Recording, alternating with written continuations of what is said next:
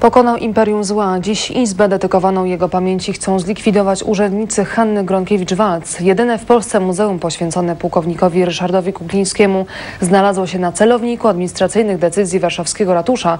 Placówkę, którą 3 maja 2006 roku otwierał ówczesny minister obrony Radosław Sikorski, zamierza zlikwidować Hanna Gronkiewicz-Walc. Warszawa, ulica Kanonia, numer 20 przez 22. Na tyłach katedry świętego Jana na Starym Mieście znajduje się jedyna w Polsce Izba Pamięci dedykowana pułkownikowi Ryszardowi Kuklińskiemu. Tu nie ma kas. Wstęp do muzeum jest bezpłatny.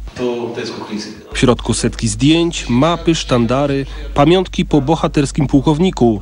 Wśród nich jego mundur i aparat, którym fotografował tajne zdjęcia i dokumenty. To jest wojskowy, oczywiście dla Układu Warszawskiego robiony. Muzeum działa od ponad 4,5 roku. Placówkę otwarto w Święto Narodowe 3 maja 2006 roku, a decyzję w tej sprawie jeszcze w 2004 roku podjął ówczesny prezydent Warszawy Lech Kaczyński. Tam byli mm, ludzie, którzy kochają Polskę. Wspomina uroczystości rodowita warszawianka pani Wanda Maciejowska. Pułkownik Kukliński jest na pewno moim y, bohaterem. Y, to jest Konrad Wallenrod naszych czasów. Historia bohaterskiego Polaka, któremu nie tylko Polska, ale Europa i świat bardzo wiele zawdzięczają, jest opowiedziana na dokładnie 103 metrach kwadratowych.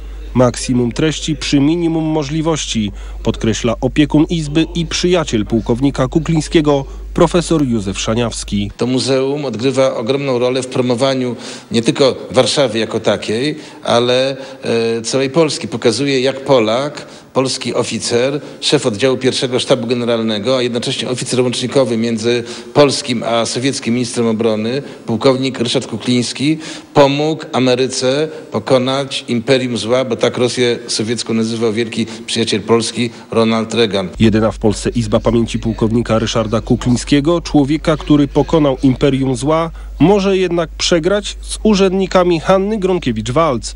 Zakład Gospodarowania Nieruchomościami w dzielnicy Warszawa-Śródmieście rozwiązał umowę najmu, bo jego zdaniem muzeum jest otwarte zbyt rzadko, uważa rzecznik ZGN Rafał Chromiński tylko był otwarty raz, dwa razy w miesiącu. Tam nie były też y, i to było w różnych godzinach i tylko na krótki okres czasu. Muzeum od początku jego powstania odwiedziło 22 tysiące ludzi, informuje profesor Szaniawski.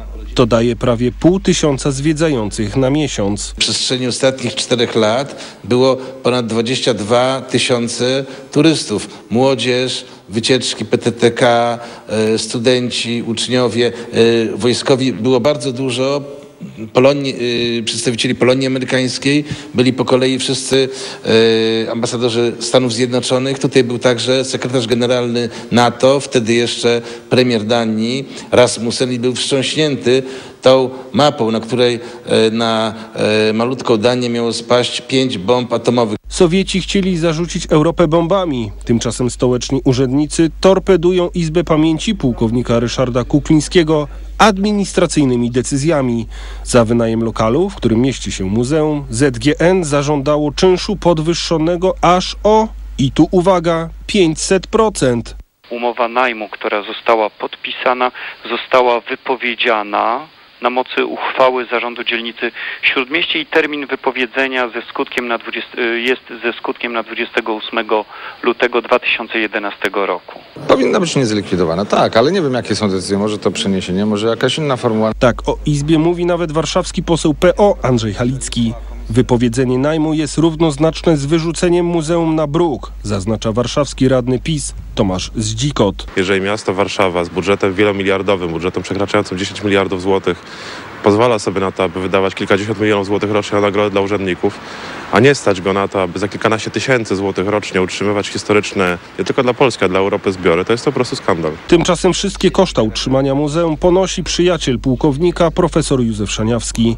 Nieoficjalnie mówi się, że lokal, w którym mieści się Izba Pamięci Pułkownika, może zostać przerobiona na lokal gastronomiczny.